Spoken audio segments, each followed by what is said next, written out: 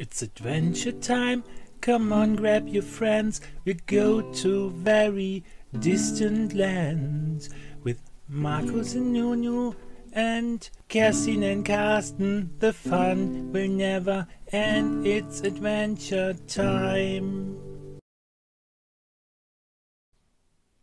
So, hallo. Äh, ja, und äh, im, also zwar war Markus der Erste, der sich auf die Krankenstation hier gelegt hat, aber ist auch der Erste, der wieder aufgestanden ist. Allerdings ist er noch nicht ganz gesund hier, wie man sieht.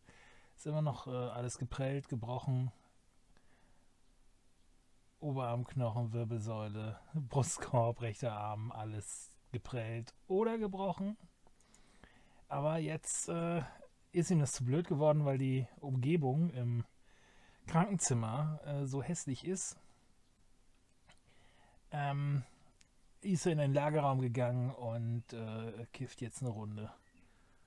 Markus Ritter gibt sich die Droge Rauchblatt. Das geschah aufgrund von schlechter Laune. Der auslösende Faktor war abscheuliche Umgebung. So. Sehen wir ihn. Carsten ist immer noch. Ah. Becken gebrochen, rechter Oberarmknochen gebrochen, alles andere nur geprellt. Okay. Oh Mann. So, jetzt holt sich auch Markus was zu essen.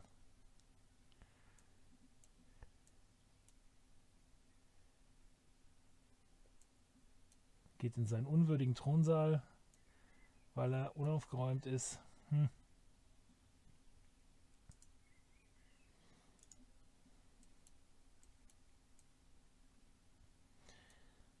Hier brauchen wir mal ein zweites Oh, ein Jade-Meteorit. Sehr gut. Jade ist äh, ein etwas wertvollerer Rohstoff. Wenn wir daraus Statuen machen, können wir die sehr teuer verkaufen. Bin mir nicht sicher, ob man vielleicht auch einen Jade-Fußboden machen kann oder so. Hier mal die, den Reis reintragen, bevor er verdirbt. Genau.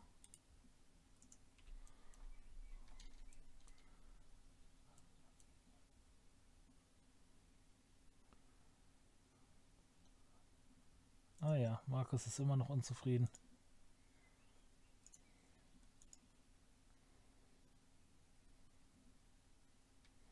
Aber nur noch leichte Schmerzen. Das war schon mal schlimmer hier. Okay.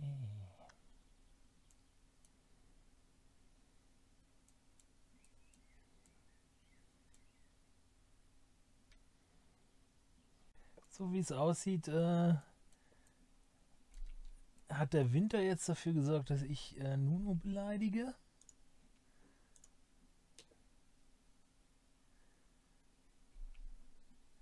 Ah, und zwar verleumdete ich ihre Konstruktionsfähigkeit. Und schimpfte hemmungslos über ihre Ohren. Und beleidige ihre Aufrichtigkeit. Oh mein Gott. Aber äh, anders als Markus scheint sie das überhaupt gar nicht zu kümmern, wenn man sie beleidigt.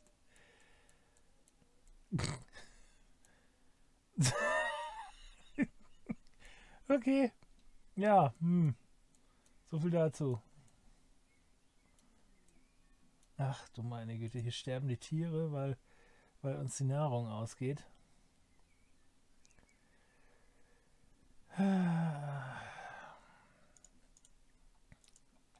Dem Denkmal fehlen Blaupausen. Was fehlt denn da?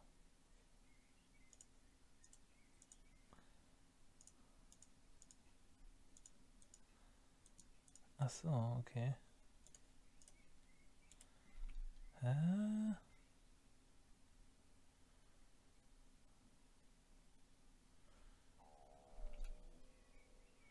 Oh nein, Calvin ist gestorben.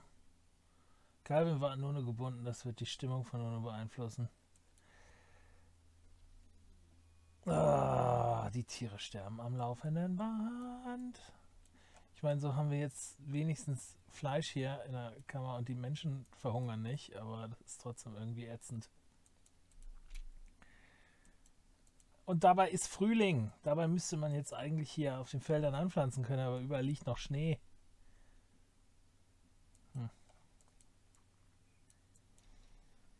Ja, ist minus 21 Grad. Ist, äh, für den Frühling ist das super großartig. Fehlen hier immer noch Blaupausen. Ah.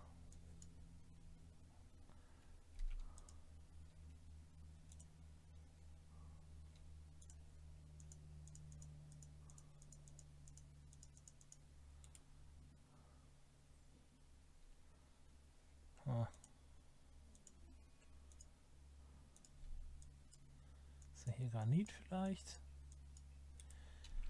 Fehlen immer noch Blaupausen hier.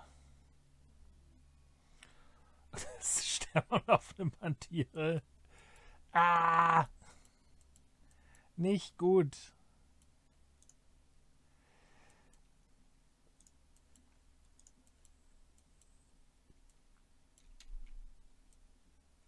Okay. Wollen wir das mal alles wieder abreißen? Und die Böden entfernen und dann mal gucken. Ja, super. Alles. Ah, alle Tiere gehen tot. Ah. Das ist der erste Winter hier. Ich hätte gedacht, ich, ich habe das besser, aber wahrscheinlich sind wir einfach zu viele Leute. Wenn das so weitergeht, müssen wir Bench essen.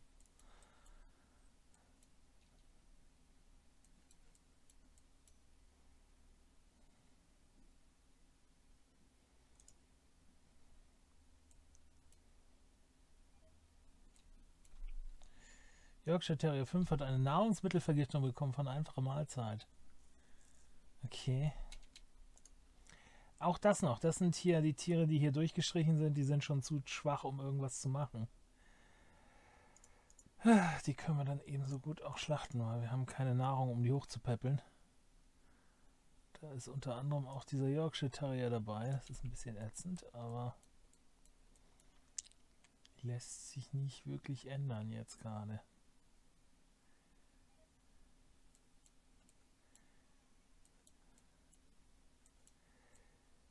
Aber dafür jede Menge, jede Menge Leder und Fell hier. Ist klar. Und alle essen rohes Fleisch, weil keiner mehr kochen will hier scheinbar. Ah ne, doch da. Ein bisschen Nahrung gibt es hier noch.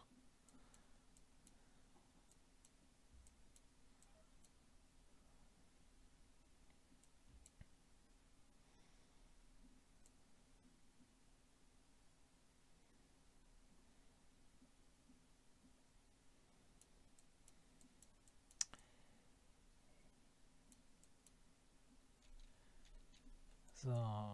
Ach du je. Da haben wir ein Alpaka.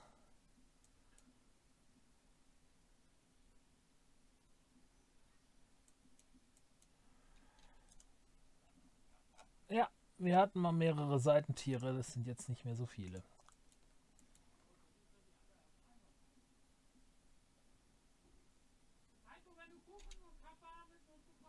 Okay.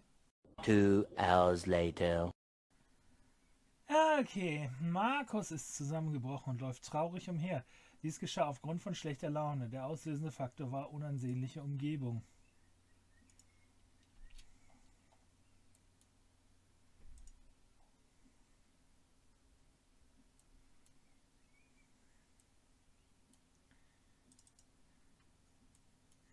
Das ist dann immer, wenn die Namen hier so eingefärbt sind, blau oder rot oder orange, wie das bei Carsten das eine Mal war, dann kann man den Leuten nicht mehr sagen, was sie machen sollen, sondern die sind dann quasi beschäftigt mit ihrer emotionalen, äh, mit ihrem emotionalen, äh, wie sagt man, Zustand. Und äh, Markus trauert gerade um, um die Sauberkeit oder so kann man auch schlecht was machen bei. Quest verfügbar. Warte mal, wo haben wir denn jetzt? Wir hatten doch hier einen Quest, hatten wir doch schon.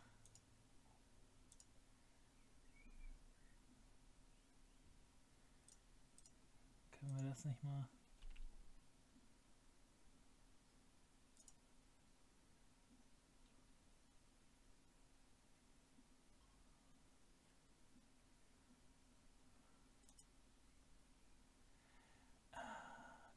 Granitblöcke hier. So, aha. Das können wir machen.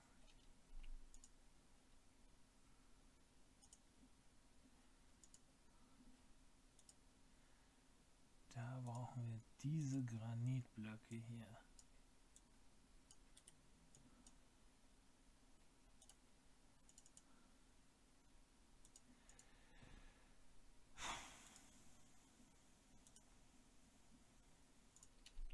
Okay.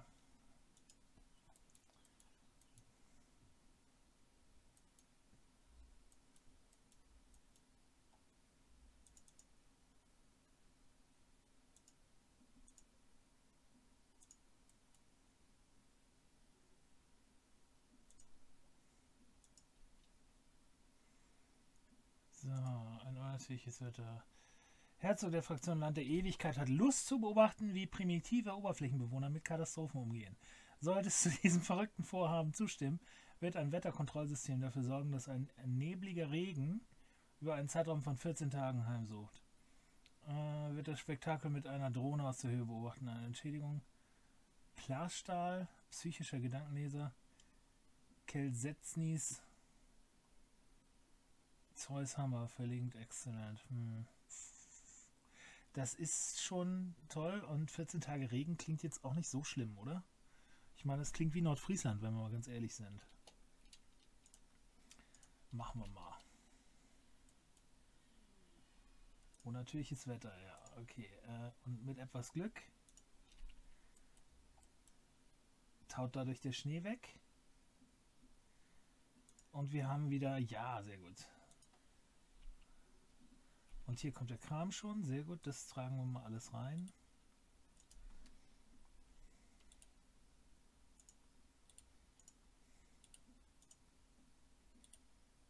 Äh, so.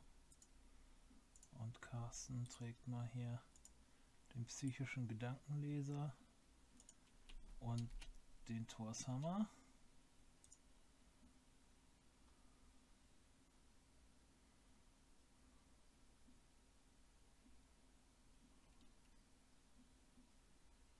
Sehr gut.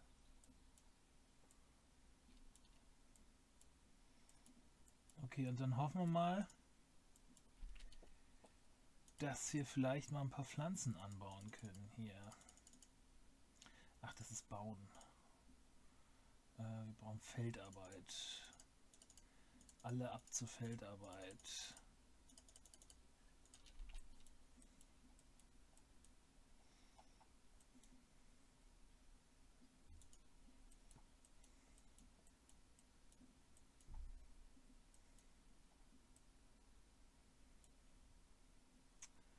Folgende Kolonisten, was? Folgende Kolonisten sind am Verhungern. Sissi, besorge ihnen etwas Nahrung. Sissi soll Nahrung bekommen. Sissi. Äh, das ist hier natürlich alles im Kühlschrank von Carsten.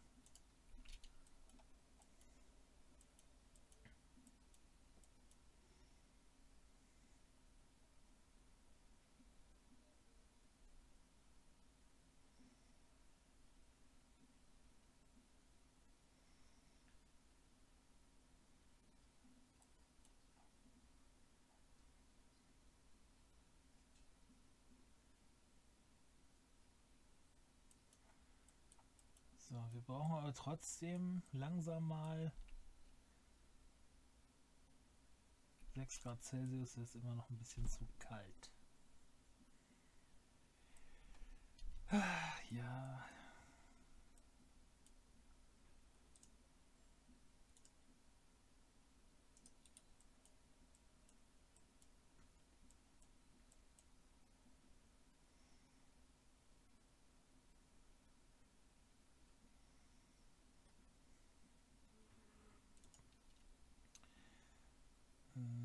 Oh meine Güte, es sind nicht mehr viele Tiere übrig, sehe ich gerade. Alle aufgegessen.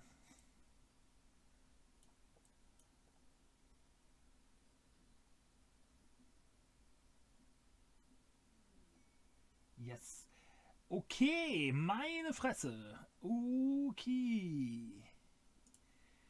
Markus erhielt von der Fraktion Land der Ewigkeit den Titel eines Prätors. Prätor. Äh, wenn er stirbt, wird dieser Titel von Nunusa geerbt. Okay. wow, jetzt haben wir hier so Game of Thrones mäßige äh, Erbfolgegeschichten. Um einen neuen Erben zu bestimmen, kontaktiere die Fraktion Land der Ewigkeit über eine Funkanlage. Dieser Titel erfordert Kleidung in normaler Qualität oder besser. Dieser Titel erfordert das Tragen folgender Kleidung. Krauskragenhemd, Zylinder, beliebige Energierüstung, beliebiger Psywirke-Kleidung. Dieser Titel erfordert einen Thronsaal mit folgenden Anführungen. Thron, Raumgröße 40 Felder, Raumeindruck 90, Bodenbelag haben wir, Feuerschale zweimal haben wir, Säule viermal, weiß ich nicht, ob wir das haben. Alle Feuerschalen müssen brennen und eine Harfe. Dieser Titel erfordert ein Schlafgemacht mit folgenden Anforderungen. Raumgröße 24 Felder, Raumeindruck 50, Bodenbelag, Doppelbett, Nachttisch, Kommode. Sollten wir alles haben. Äh, oh. Markus hat folgende Befugnisse. Rufe Sturmsoldateneinheit, handle mit Siedlungen, handle mit Karawanen, rufe Jan Janitscharen-Einheit. Er kann nun Reden auf seinem Thron halten. Ah, wenn es gut läuft, werden die Zuhörer inspiriert. Beim Misserfolg wird die Rede sozialen Schaden anrichten. Das Ergebnis hängt von Markus sozialen Fähigkeiten ab. Er darf folgende Implantate nutzen: psychischer Verstärker viermal Prätor. Er wird folgende Gegenstände via Transportkapseln erhalten: psychischer Verstärker. Okay.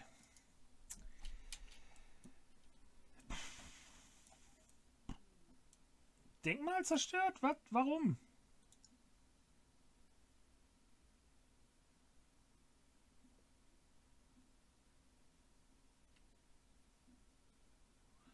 Ah, okay.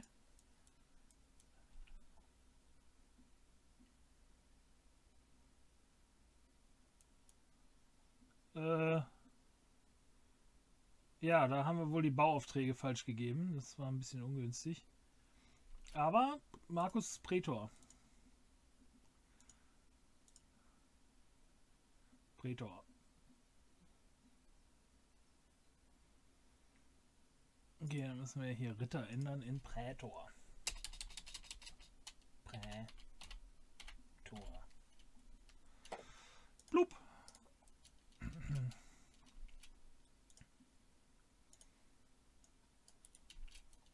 So.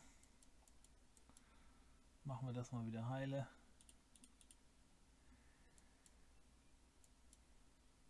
So, das ist also ein erblicher Titel. Das ist ja auch sehr interessant.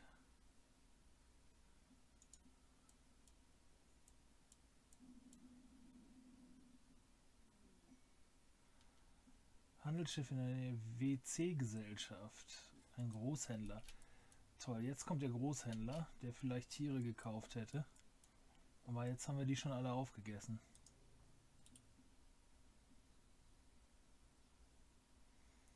Kann Kerstin mit dem handeln? Ja.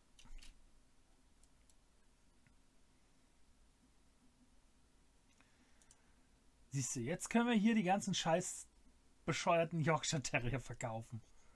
Also wir behalten ein Männchen und zwei Weibchen, der Rest wird verkauft.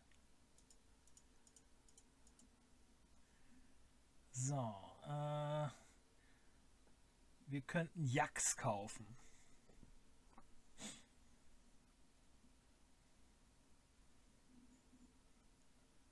Wir haben noch eine Stute übrig. Bauteile können wir kaufen.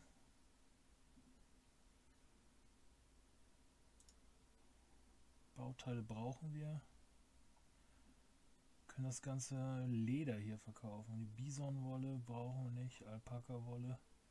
Ich weiß nicht, ob wir überhaupt noch Alpakas haben, aber das, von dem wir viel haben, behalten wir mal. Und die Sachen, von denen wir wenig haben, außer dieses Sindgarn, das behalten wir, das ist wertvoll. Aber die Sachen wie hier zum Beispiel Schweineleder, Hundeleder, Echsenleder, das glatte Leder behalten wir, davon haben wir wieder eine Menge. Kamelhaut verkaufen wir, Großkatzenfell. Das wird alles, Meerschweinchenfell wird alles verkauft. Brauchen wir Medizin? Ich glaube, wir brauchen Medizin. Äh, Rauchblattjoint können wir verkaufen. Das hier sind andere Drogen, die brauchen wir nicht. Stahl.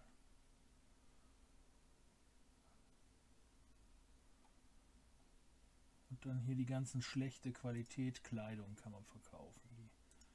Will eh niemand tragen. Übel. Und das hier, was schon abgewetzt ist, verkaufen wir auch alles.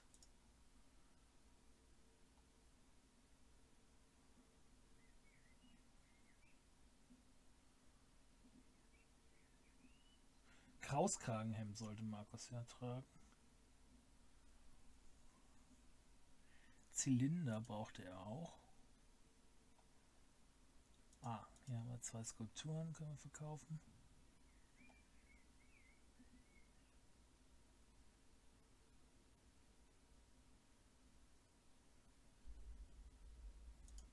Kaufen wir nochmal eine königliche Robe. Ist vielleicht ein bisschen viel des Guten, aber da, okay. So.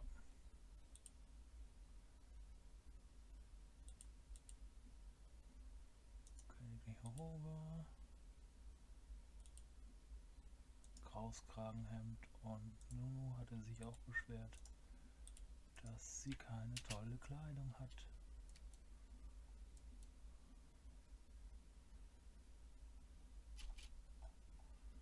So, das ist jetzt Markus hier. Wie er, als wäre er ein normalsterblicher Heugras anpflanzt hier. Ich muss ja sagen, Carsten ist schneller beim Anpflanzen von Nahrung. Und das im Regen.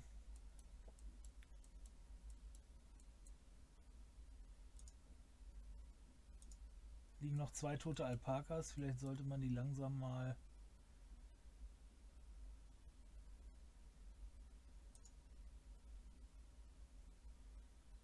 langsam mal schlachten hier. Wie wäre das?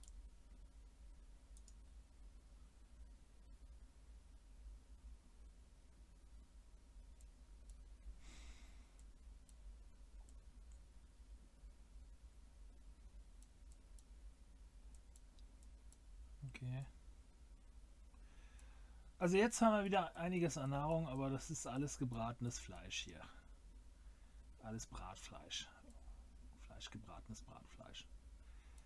Okay, also können wir dann vielleicht beim nächsten Mal dann gleich weitermachen. Wenn vielleicht der Regen aufhört. Hier liegt ja immer noch Kram draußen. Das ist nicht normal. Das müssen wir alles reintragen. Sonst geht das alles kaputt hier.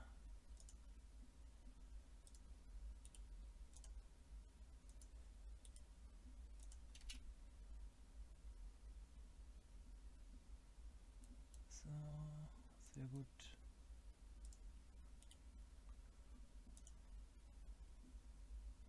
Thronrede. Vielleicht sollte man den Thronsaal, vielleicht ist er hier nicht so gut positioniert, direkt neben der Küche.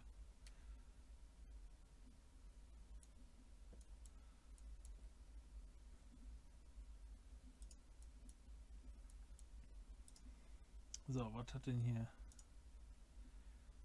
Nur für kaputte Kleidung. Die Hose, Hose kaputt. Okay.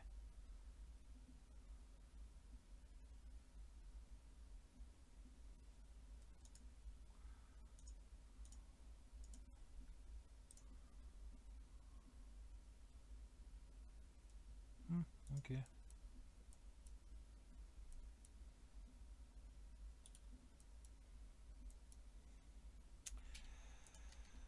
So, schauen wir mal, was haben wir noch an Tieren übrig? Wir haben 1, 2, 3, 4 von den Terriern noch übrig.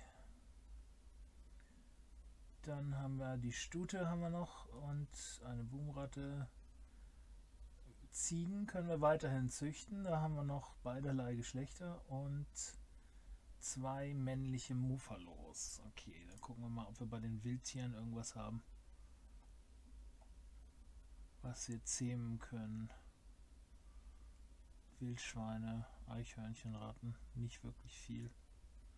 Können wir nur alles. Die Boomratten vielleicht. Wo, was soll man mit einer Boomrattenzucht, ganz ehrlich? Was soll man mit bescheuerten Ratten, die explodieren können? Hm. Naja, müssen wir warten, bis wieder Tiere in die Gegend marschieren, die wir dann hier züchten können. Bis jetzt.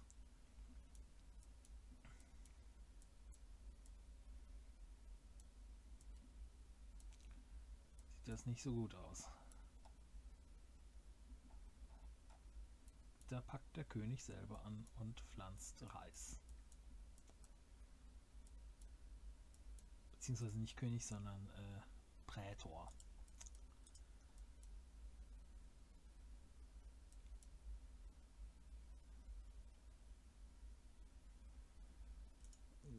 machen das hier mal woanders hin.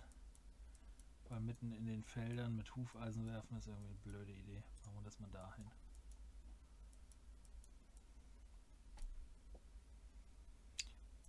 So, aber wie gesagt, dann können wir beim nächsten Mal können wir dann direkt gucken. Wie der Frühling weiter verläuft hier. Wie viel nebligen Regen, Regen haben wir überhaupt noch? Noch zwei Tage. Vor zwei Tagen haben wir das. Mhm.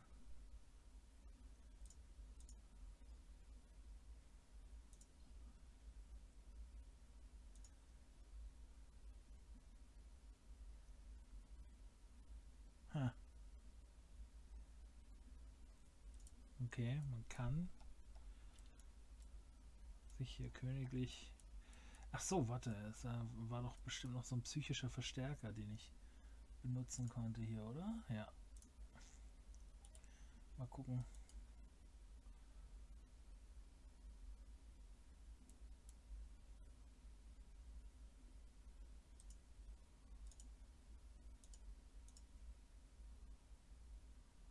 Fokus Stufe 4, Schwindelwelle, hatten wir alles schon.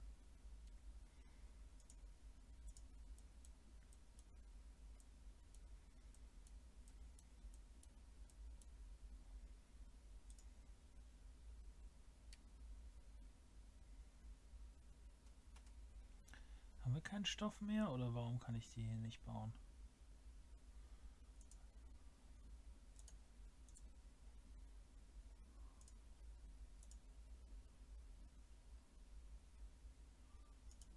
So, dann bauen wir halt die Stühle aus anderem Material.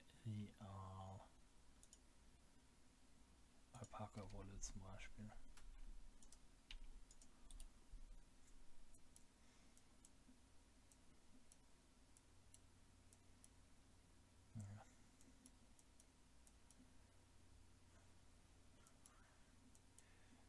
Glaube, wir müssen wieder ein paar Bäume abholzen hier.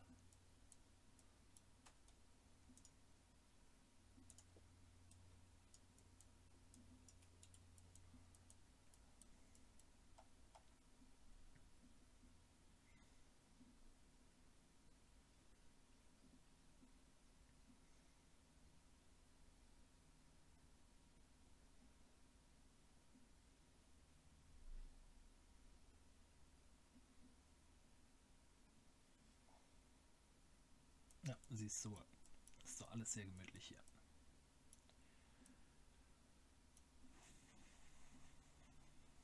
Eigentlich müsste man das ganze Layout mal hier, das ist, ich habe immer nur Räume angebaut, so äh, ohne Sinn und Verstand. Müsste das ganze Layout eigentlich mal anpassen, aber das machen wir, wenn wir genug Nahrung haben, weil momentan momentan ernähren wir uns nur von den ganzen Tieren, die wir notschlachten mussten hier. Das ist nicht so gut.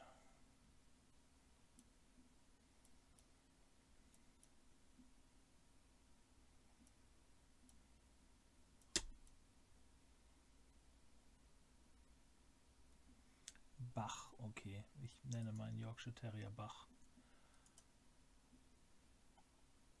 Eichhörnchen, okay. Wir haben hier nicht wirklich was. Ich meine, man könnte. Man könnte versuchen, hier dieses weibliche Riesenfaultier wieder zu zähmen. Aber das mache ich, nachdem ich abgespeichert habe hier. Pip, pip, pip, pip.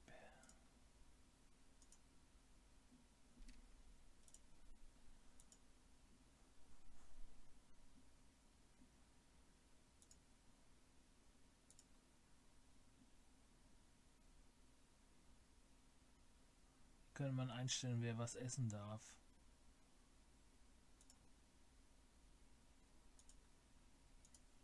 Machen wir einfach mal, die sollen essen, was da ist. So. Was wir... Hm.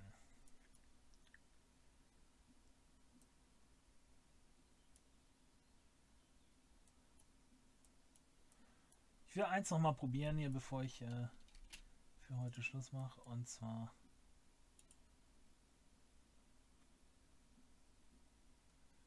Thron nicht nutzbar, weil er unwürdig ist. Okay, äh, priorisieren, prior, priorisieren, pri, Prisio, äh, wir mal hier das Auffüllen der Feuerschalen. Vielleicht reicht das schon. Weil alle Feuerschalen müssen brennen und wir brauchen noch zwei Säulen, weil nur zwei Säulen geht gar nicht. Wir brauchen hier vier. Äh, da noch.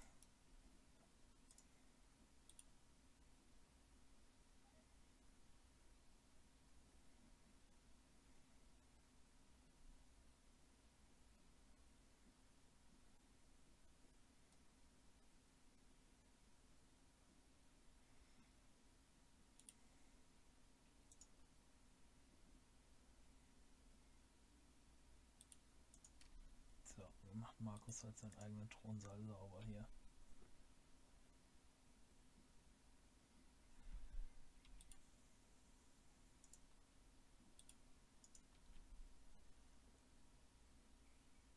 Aha! Jetzt kann er eine Rede halten. Markus hält eine Thronrede. Wenn alles gut geht, werden die Zuhörer inspiriert und Respekt für Markus empfinden. Beim Misserfolg wird die Rede sozialen Schaden anrichten. Das Ergebnis hängt von Markus sozialen Fähigkeiten ab. Markus Überzeugungskraft 102%. Erfolgsaussichten, inspirierende Rede 20%, ermutigende Rede 60%, uninspirierende Rede 15%, schreckliche Rede 4,9%. Okay, dann wollen wir mal gucken. Ob überhaupt wer zuguckt, hier ist die Frage.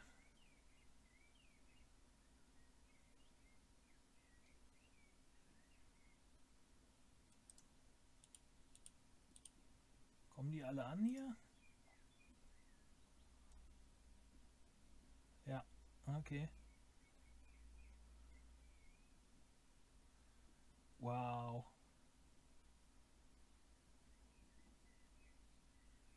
Bisher nur Sissi, Constantia und Nuno.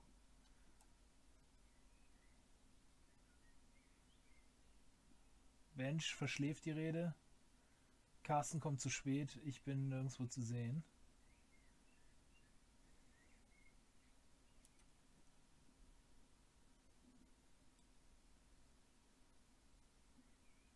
Ah, da kommt Kerstin. Okay. Ben schläft immer noch.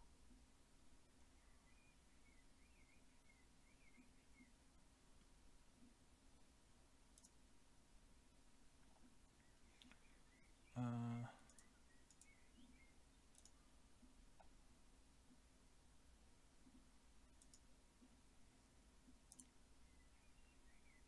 Baut Eiche an, okay.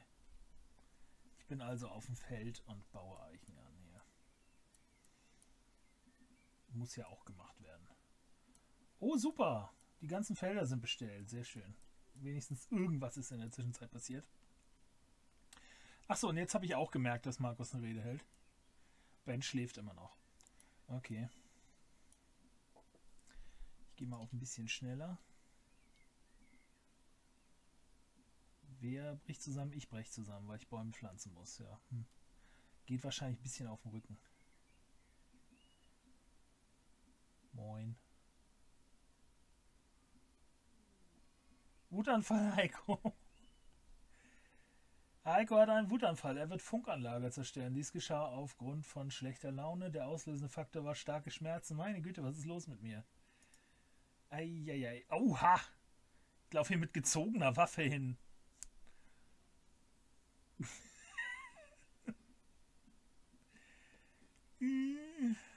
Nicht gut. Bench, reparier irgendwie. Fuck.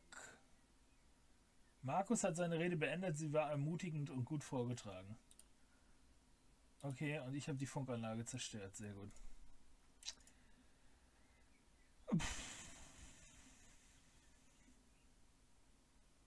War Bench. Also ich war bei der Rede. War Bench bei der Rede? Habt ihr Bench bei der Rede gesehen? Bench muss die Funkanlage zerstört haben.